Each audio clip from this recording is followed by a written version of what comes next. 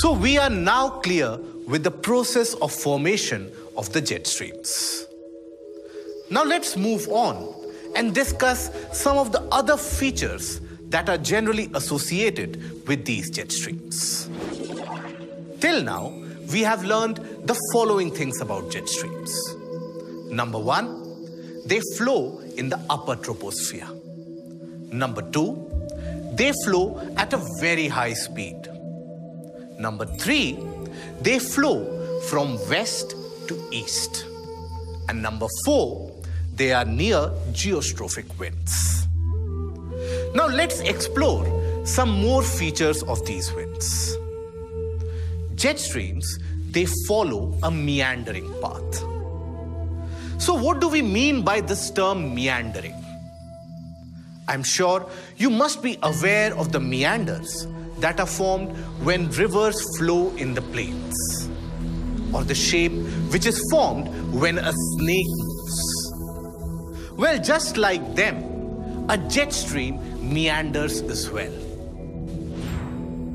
So they meander in two ways, vertically and laterally.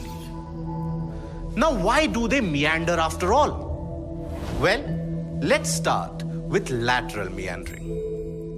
We know jet streams are formed at the junction of two contrasting air masses. So, let us suppose that there is a cold air mass which is coming from the north and a warm air mass is coming from the south. At some places, the cold air mass approaches the warm air mass at a much faster rate, while at few other places, it is the warm air mass which rushes towards the cold air mass much faster. This non-uniform interaction of air masses at various different points, it leads to meandering of the wave in the lateral direction. Now, what about vertical meandering? Vertical meandering, the reason behind its formation is quite similar to lateral meandering. We already know how air columns of different heights they interact with each other to form jet streams. Sometimes a column of warm air moves at a much faster rate towards a column of cold air, and sometimes quite the opposite is observed. Again, this non-uniform interaction of air masses, which happens at various different heights, leads to meandering of the waves in a vertical direction. These meandering waves are also referred to as Rossby waves. They are named after Carl Gustav Rossby, a Swedish-born American meteorologist who first explained the large-scale motions of the atmosphere in terms of fluid mechanics.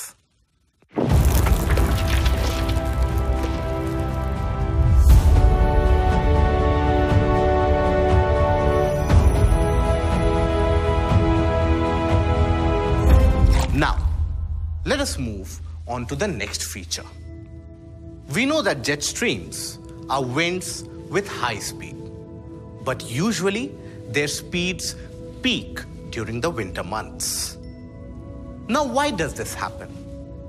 Well, as we have seen, jet streams are formed due to the interaction between the warm and the cold air masses.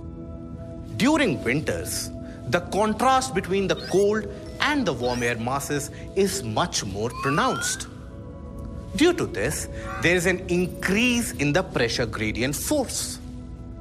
This results in an increase in the overall speed of the jet streams. It is this feature that has explained the peculiar observation that scientists made about jet streams. Now, it has been observed that with climate change, the jet streams are getting weaker day by day. Why is that? As we know, the overall temperature of Earth is rising because of climate change. Thus, the cold air mass won't be as cold as it was earlier as the Earth in itself is getting warmer. Due to this, the contrast between the cold and warm air masses is no longer as pronounced. As a result of this, the pressure gradient force in itself will reduce. This in turn shall lead to lower speeds, or in other words, the weakening of jet streams themselves. Now, another interesting feature of these jet streams is their ability to carry localized weather conditions over thousands of kilometers. For example, if a place is experiencing a cyclonic condition, then the overlying jet stream has the ability to transport this atmospheric condition over a very large distance. Now, lastly, one of the most peculiar feature of jet streams is that their position shifts with apparent motion of the sun. We know about the apparent motion of the sun, right? As Earth moves around the sun in one full revolution, the position of the sun changes with respect to an observer from the Earth's point of view.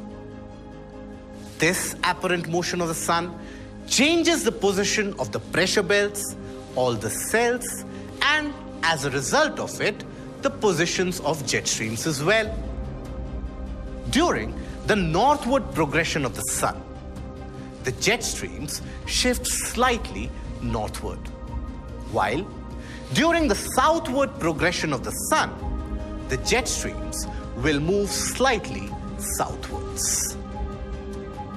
This summarizes everything that we need to know regarding the basic concept and phenomena of jet streams.